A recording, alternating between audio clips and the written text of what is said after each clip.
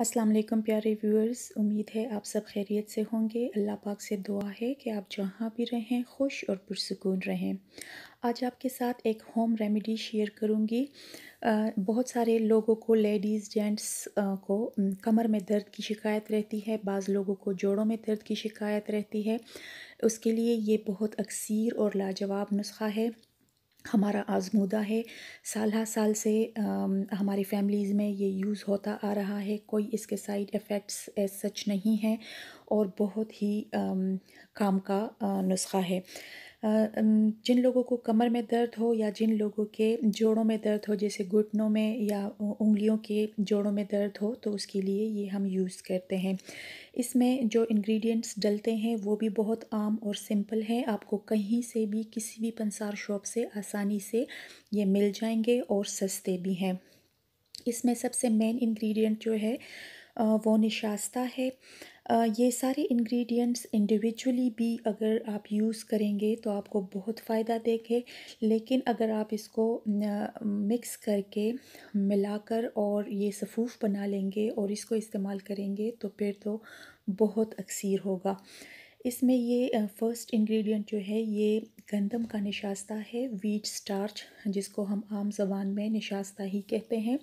ये 500 ग्राम है। साथ में ये चीनी मैं डालने जा रही हूँ। आपकी अपनी मर्ज़ी है। अगर आप स्किप करना चाहें तो स्किप कर सकते हैं, लेकिन इसमें ये एक इंग्रेडिएंट बहुत कड़वा होता है, इसलिए हम इसमें चीनी डालते हैं। दूसरा, इसमें जो जाएगा ये है सिंगाड़ा पाउडर।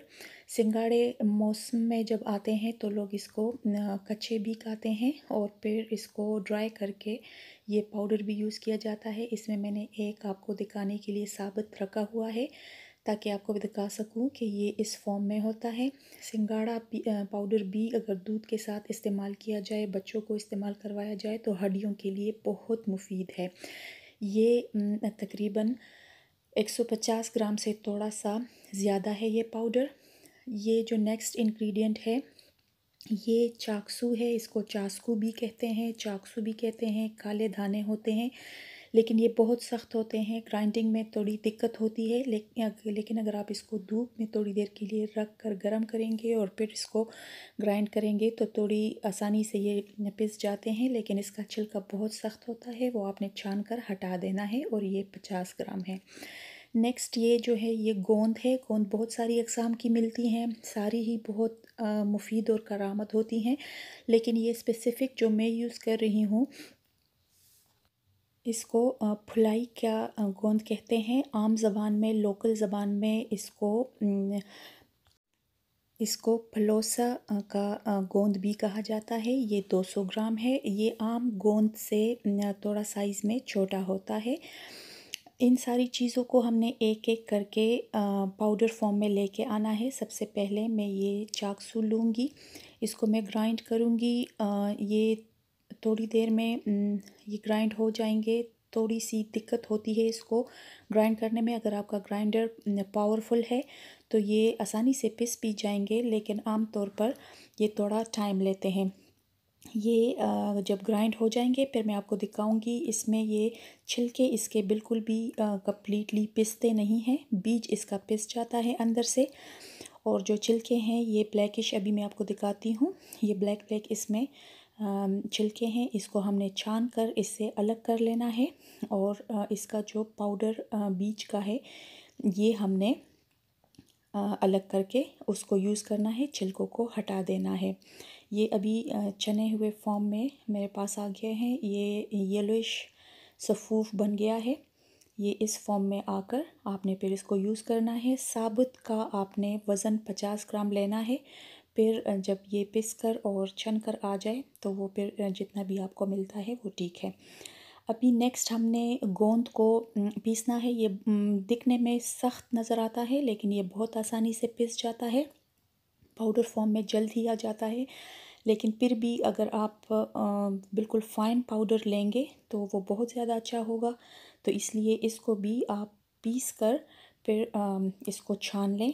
तो आपके पास एक बिल्कुल कंप्लीट एक हमवार सा पाउडर पाउडर जो है वो आपको मिल जाएगा।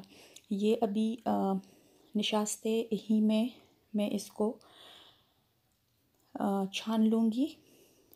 ये देखिए, ये इस फॉर्म में आ जाता है तो अभी इसको हम छान लेंगे तो फ़ाइन पाउडर हमारे पास आ जाएगा। ये मैंने निशास्ते के अंदर ही इसको छान लिया है। अब ये सारी चीज़ें एक एक करके हम आपस में मिक्स कर लेंगे। और चम्मच से इन सारी चीज़ों को आपने अच्छे तरीके से मिक्स कर लेना है। ये इसमें अभी हम डालेंगे चाकसू पाउडर और उसके बाद हम डालेंगे सिंघाड़ा पाउडर और उसके बाद शामिल करेंगे चीनी। फिर इसको खूब अच्छी तरीके से मिक्स कर लेंगे और फिर किसी एयर टाइट जार में या शीशी में हम इसको भर लेंगे। अगर आप ज़्यादा मकदार में बनाएँगे तो आप इसको प्लीज़ फ्रिज में रख दीजिएगा। फ्रिज में रखने से ये ख़राब नहीं होता, साल हर साल भी चल जाता है। अब इसको इस्तेमाल करने का तरीका बताती हूँ कि एक चम्मच ये खाने वाला जो टेबल स्पून होता है, ये आपने पानी या दूध के साथ लेना है। अगर आप दूध के साथ लेंगे तो बहुत अच्छा है। अगर जो लोग दूध नहीं पसंद करते तो वो पानी से भी ले सकते हैं। और इसको तकरीबन महीना आप यूज़ करेंगे तो आपको वाज फ़र्क नज़र आना शुरू हो जाएगा। लेकिन अगर आप इसको रेगुलर लेने की आदत बना लेंगे तो आपकी हड्डियों का दर्द भी ख़त्म होगा, जोड़ों का भी दर्द ख़त्म होगा और आपकी हड्डियाँ मज़बूत होना शुरू हो जाएँगी। आपको बहुत फ़ायदा देंगी। मैं उम्मीद करती हूँ आपको ये नुस्खा अच्छा लगा होगा। आप ज़रूर इसको ट्राई भी करेंगे।